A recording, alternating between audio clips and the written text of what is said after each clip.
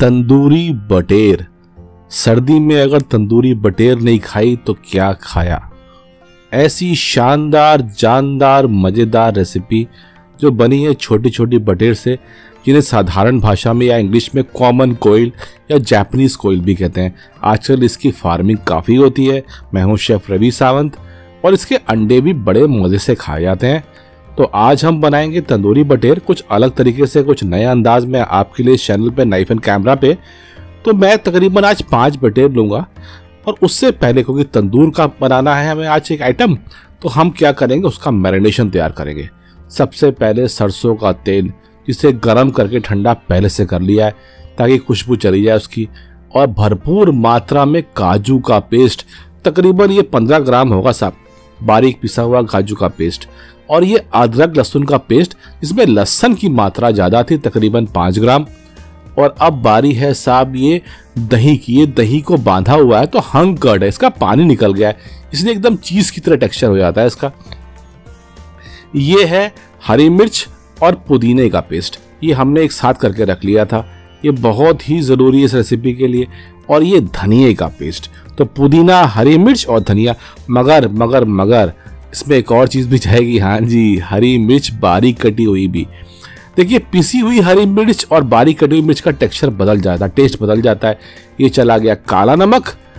काला नमक ज़रूर डालिएगा, भूलिएगा मत और ये थोड़ा सा सफ़ेद नमक, यानी कि कॉमन टेबल सॉल्ट ये जो आप देख रहे हैं, ये कबाब मसाला है, हम पीस के रखते हैं, इसकी रेसिपी अगर आपको चाहिए तो मैं दे दूँगा।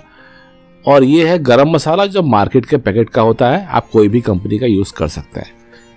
और ये चला गया जरा सा जीरा पाउडर। ये तीन सामग्री तो देखिए बहुत ज़रूरी है। और ये है नींबू। ये एक नींबू के दो हम वेजेस आज इसमें डालेंगे। इसको आप बारीक निचोड़ दीजिए। बीज नहीं जाना चाहिए। बीच में खराबी होती है, नींबू की कड़वाहट देता है, आप जानते ही होंगे। तो बीज निकाल के उसका जूस निचोड़ दीजिए। इस रेसिपी के लिए तो बहुत ज़रूरी है ये। नींबू भी चला गया। अब साफ़ हाथों से इसे अच्छा सा एक मिक्स दे दीजिए। और हमारा मैरिनेशन तैयार हो गया है। अब देखिए हमारी बटेर को जो अभी चीरे देख रहे हैं, इस पर यानी कि स्मार्क्स ये लगाने होंगे।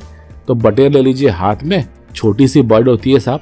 अब इसमें हल्के हाथ में जरा जरा से हम गैशेस लगा देंगे, यानी कि चीरा लगा देंगे, ताकि मैरिनेशन हमारा इसके अंदर आराम से जा सके। सेम प्रोसेस हम तंदूरी चिकन में भी करते हैं। देखिए प्रोसेस सेम है मैरिनेशन अलग है। और बनेगा भी तंदूर में, और टाइमिंग का फ़र्क होगा। देखिए, अभी छोटी छोटी बर्ड्स हैं तो जल्दी पक जाएँगी। इस बात का हम ध्यान रखेंगे। अब मैरिनेशन इसके ऊपर हम लगा के इसे हम थोड़ी देर के लिए रेस्टिंग पीरियड पे ज़रूर रखेंगे। देखिए मैरिनेशन का एक सबसे इंपॉर्टेंट चीज़ होती है, इसको आप जब तक रेस्ट नहीं करेंगे तो तब तक मैरिनेशन अंदर जाएगा नहीं। क्लिंग रैप लगा के इसको फ्रिज में कम से कम एक घंटे के लिए और ज़्यादा से ज़्यादा चार घंटे के लिए ज़रूर फ्रिज में रखिए। इसके बाद जब आप इसे बनाएँगे तो टेस्ट बहुत ही अच्छा आएगा। तकरीबन दो घंटे का वक्त बीत चुका है। हमारी बर्ड्स यानी यानी कि हमारी कॉमन कोयल हमारी बटेर अच्छे से मैरिनेट हो चुकी हैं। हम एक स्पाइक पे, यानी कि एक स्कीवर पे एक आलू लगाएँगे टू सपोर्ट और उसके बाद हम बर्ड्स को आराम से इसमें पिरो के तंदूर में सेकेंगे। देखिए, ये रेसिपी बहुत ही अच्छी है। आप चाहें तो सब्सक्राइब कर दीजिएगा बड़ी कृपा होगी। देखिए, तंदूर में जब ये रेसिपी बनती है तो पहली बात हेल्दी हो जाती है। और बटेर वैसे भी बहुत हेल्दी बर्ड्स हैं। और इससे अगर आप विंटर्स में खाएँगे तो बहुत ही अच्छा है। देखिए लीन फैट है, कोई ऐसे में एक्स्ट्रा फैट होता नहीं है। छोटी बर्ड है वाइट मीट है। मैरिनेशन को ऊपर से आप थोड़ा सा और लगा देंगे ताकि अच्छे से ये अंदर चला जाए। और इसके बाद हम तंदूर में इसको डालेंगे। देखिए, तंदूर बहुत ज़्यादा गर्म ना हो, उससे क्या होगा ना ये तो बर्ड्स जल जाएँगी। हमें बहुत धीमी आँच में इसको पकाना है, धीमे धीमे पकाना है। आप देख रहे होंगे, तंदूर में बिल्कुल भी फ्लेम नहीं दिख रही है, कोई भी रेड कलर नहीं दिख रहा। धीमी आँच में जब ये पकेगा तो तकरीबन चार मिनट के बाद आप देखेंगे ये स्टेज आ जाएगी। अब इस स्टेज में चार मिनट के बाद हम क्या करेंगे, इसके ऊपर थोड़ा सा पहले से मेल्टेड बटर लगाएँगे। इससे क्या होगा, थोड़ा सा शाइन आ जाएगा। और थोड़ा सा मॉइस्चर मेंटेन रहेगा। इस बर्ड में अपना कुछ हार्डली एनी फैट है। तो थोड़ा फैट तो ऊपर से इम्प्लीमेंट हमें करना ही होगा। और तकरीबन अनदर एट मिनट्स के बाद आप देखेंगे, ये लगभग तैयार हैं। फिनिशिंग टच सिर्फ़ इतना ही होगा।